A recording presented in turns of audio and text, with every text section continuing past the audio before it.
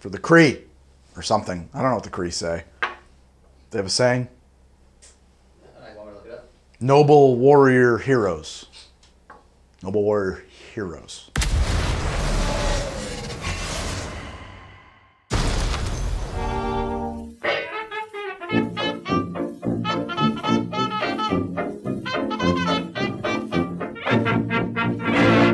March 8th is the release of the latest installation in the Marvel Cinematic Universe. We were talking about Captain Marvel. So at this point, all I have seen is the trailer, and I had a couple of options on where to go with a drink for Captain Marvel. The trailer doesn't give us a whole lot to go on. Photonic blasts, and we see that she has some kind of an infusion of Kree blood, and it's bluish green.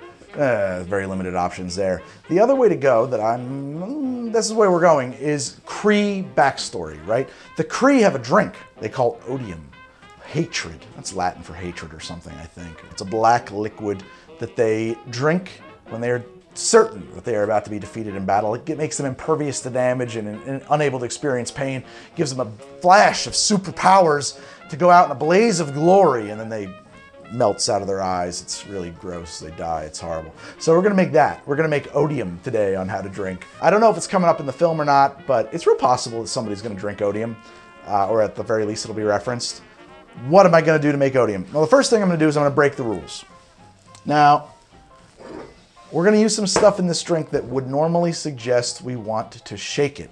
But one of the ingredients I'm going to use, if I shake it, it will aerate and I won't like the way it looks. So we're going to stir this drink. And we're also going to make it backwards. We're going to start it with some ice in the glass. I was inspired recently by an episode of Drinks I've Never Had Before, Patreon exclusive, to look into using molasses as an ingredient, and that's exactly what we're gonna do here. We're gonna use a half an ounce pour of this black strap molasses, and we're gonna start with that.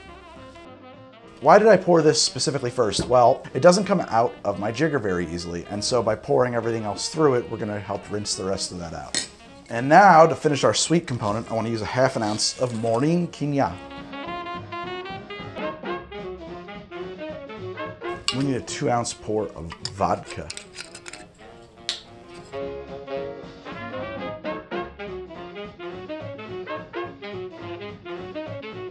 And we need a one ounce pour of lime juice. We're gonna stir this drink, we're gonna stir it a little bit longer than we normally might just because it's to take a lot of work to get that molasses integrated. This is not something that you need to do for this cocktail, but I'm to do it. I think that it'll add a little extra something, a little extra bite. We're to smoke this cocktail. We're to use a little hickory wood for this. And if you have um, a Breville or Polyscience smoking gun, your friends will really be impressed by this. They're to think that's just the coolest. Fire this guy up. We're gonna let that sit in its smoke for a little while. Um, I'm gonna serve it in these handy dandy little ampules. Um, these are the kinds of things a Kree warrior might use if they were bringing their little dose of odium with them into battle. Uh, you can certainly serve it in whatever you want, but this is the way I'm gonna go.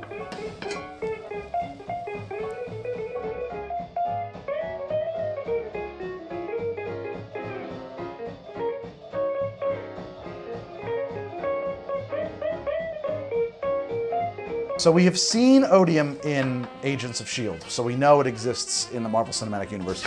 Let's give it a taste and see how I enjoy Odium, if it gives me any superpowers.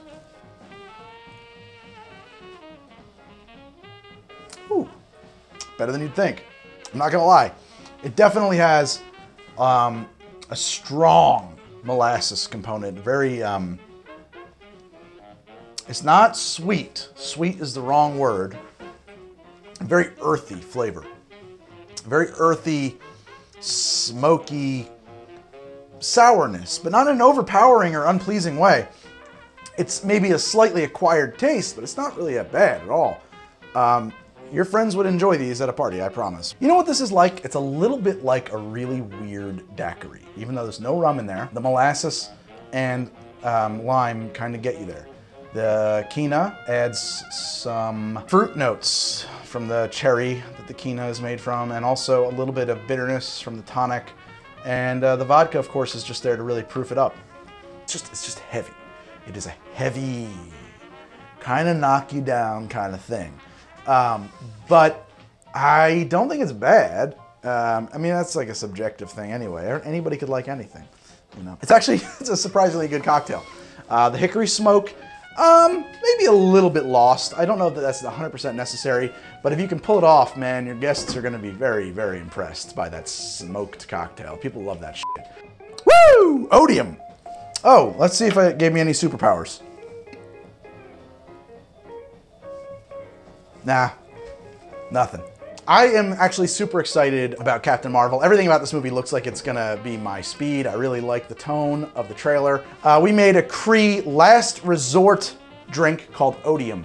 The Kree warriors would drink this as they charged in on a kind of a banzai assault when they knew that the chips were down, they weren't coming back alive, and they just needed a last burst of very powerful powers, very powerful powers to go out in a blaze of glory. And so we made Odium. It's really actually pretty good. it's really good. Very unique drink. It's like something you've probably never had. And I think, I hope you're gonna like it. And if you do like the show, I hope you will subscribe. I'm on Twitter at How to Drink. I'm on Instagram at How to Drink. I have a Patreon at patreon.com slash How to Drink. And uh, if you're interested in seeing a longer version of this show, well, it's over there at Patreon. Thank you guys so much. If you like any of the uh, stuff that I'm using, these, these little bottles, a listing will be for them in the description of the episode. And I'm gonna see you guys next week with another cocktail on How to Drink. Thank you. There was like these streaks of light that shot out the sides. Oh, that's so badass. That's in the trailer. You know what's going on in this movie. Cosmic powers. It's gonna be sick, y'all. She's got a cute cat too. Isn't that a cutie? Goose? It's like a Top Gun reference.